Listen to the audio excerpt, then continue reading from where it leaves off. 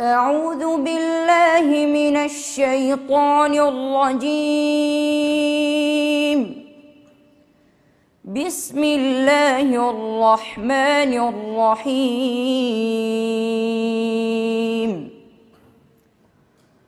والمؤمنون والمؤمنات بعضهم أولياء بعض. يأمرون بالمعروف وينهون عن المنكر ويقيمون الصلاة ويؤتون الزكاة ويطيعون الله ورسوله. أولئك سيرحمهم الله.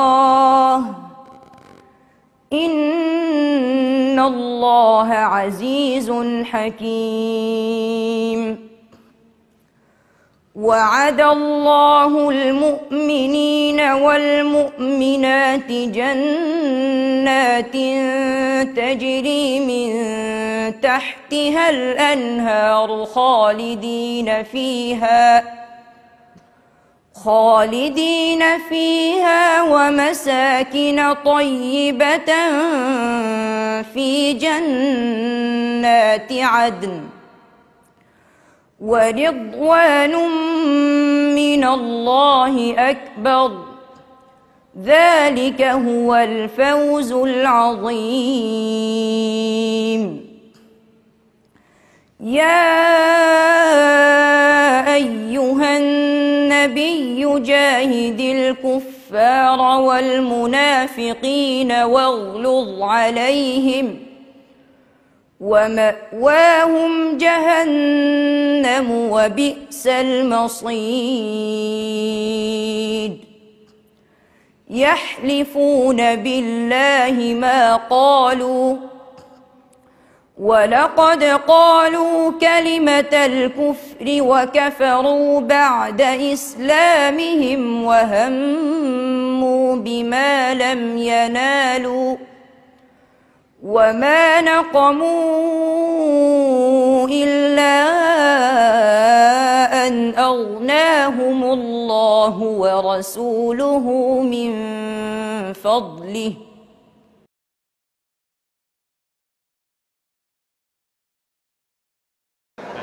বিসমুল্লাহ রহমান রহিম প্রকৌশলী নেতৃবৃন্দ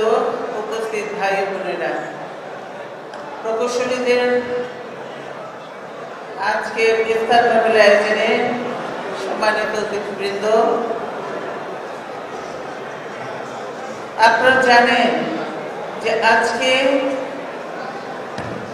তিন বছর যাবৎ ধরে প্রকৌশলী মাহমুদুর রহমান আমাদের মধ্যে উপস্থিত থাকতে পারছেন না। এই অন্যান্য প্রোগ্রামে। মামলায় তাকে আটক করা হয়েছে। আটাত্তরটি মামলা দেয়া হয়েছে। যে লোকটি এত সৎ, এত ইয়ে এবং সেই লোকটিকে আজকে মিথ্যে মামলায় একটার পর একটা মিথ্যে মামলা দিয়ে আটাত্তরটি মামলা দিয়ে তাকে আটক রাখা হয়েছে। এবং সবগুলো মামলাতে সে জামিন পেয়েছে।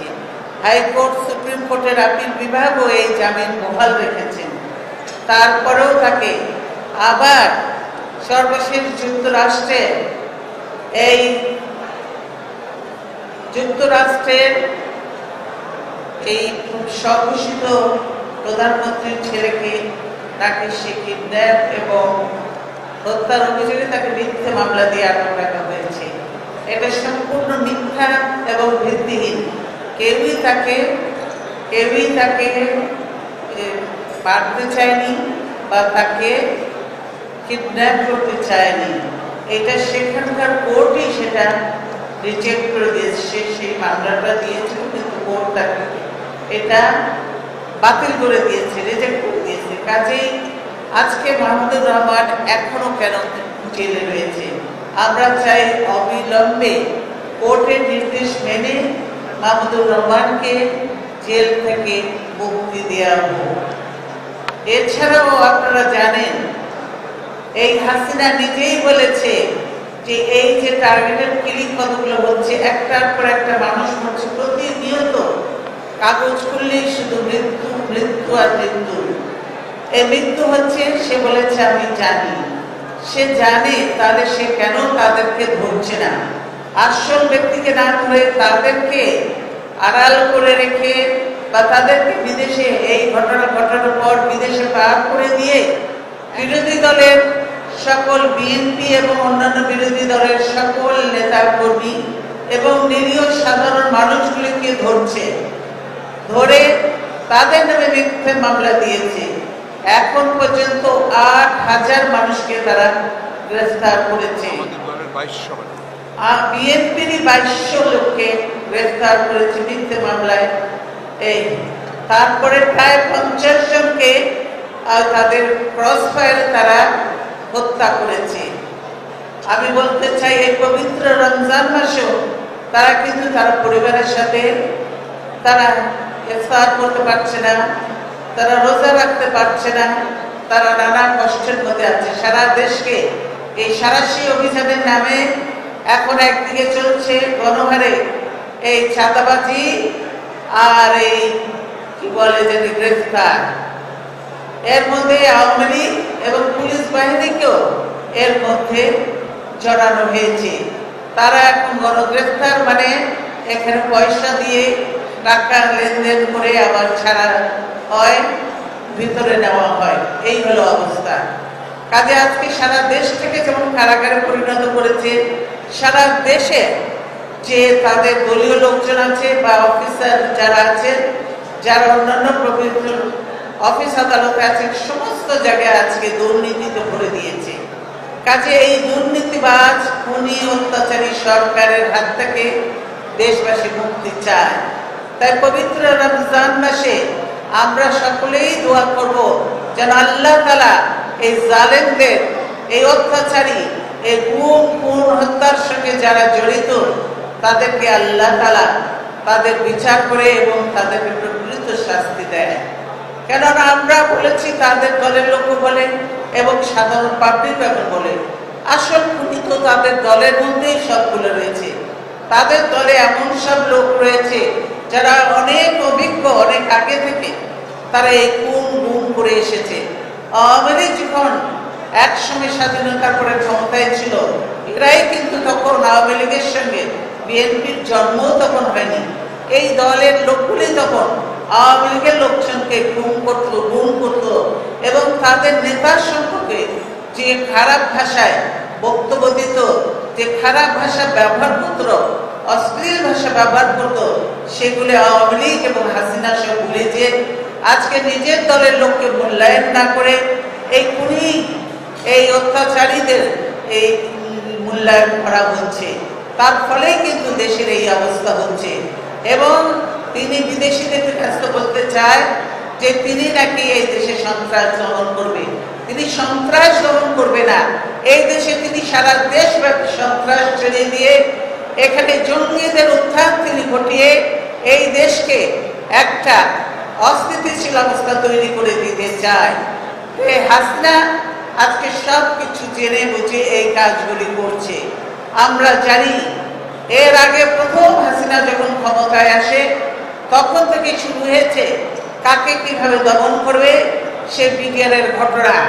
বিডিআরের ঘটনা দিয়ে মানুষ প্রমাণ জানতে পারে যে বিডিআরের ঘটনা হাসিনা জানতো এবং হাসিনার জানার যারা জানতো বলেই সেই তিন চিফকে নিয়ে নিজে বসিয়ে রেখেছে এবং সন্ত্রাসীদের সাথে কথা বলে তাদের সঙ্গে আলোচনা করে তাদের সঙ্গে সেরাটন থেকে খাওয়া এনে খাইয়ে তারপরে বিডিআরের এই হত্যাকাণ্ড ঘটিয়েছে।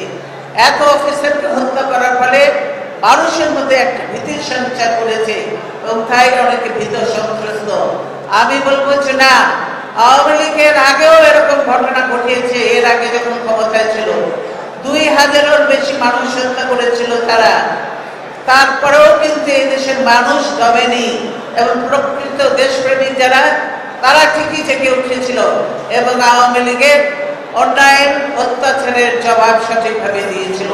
তাই আমি আপনাদেরকে বলব, আসুন। আজকে সময় এসেছে, দেশে নিজের ছেলেপেলেদের পরিবার পরিজনদের বাঁচানো ঘুম হত্যা থেকে রক্ষা করা এবং দেশে অশান্তি থেকে রক্ষা করা দেশের গণতন্ত্র ফিরিয়ে আনা এবং গণতন্ত্রের সঙ্গে সঙ্গে উন্নয়ন কর্মকাণ্ডের আজকে যে প্রকৌশলীরা এখানে উপস্থিত হচ্ছেন অনেক যোগ্য, উপযুক্ত লোক আছেন যারা প্রকৌশলী। তারা এত জ্ঞান রাখেন, কিন্তু তারপরেও এদের মূল্যায়ন হয় না।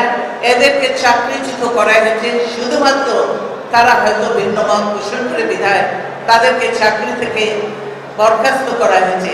কিন্তু আমরা বলে দিতে চাই, দিন একদিন আসবে যেদিন প্রকৃত যারা জ্ঞানী এবং এই প্রকৌশলীদের আমরা সঠিক মূল্যায়ন করব ইনশাআল্লাহ। এবং দেশকে তাদের মাধ্যমে আমরা সামনের দিকে এগিয়ে নিয়ে যাব। আপনাদের সকলকে ধন্যবাদ। আল্লাহ হাফেজ।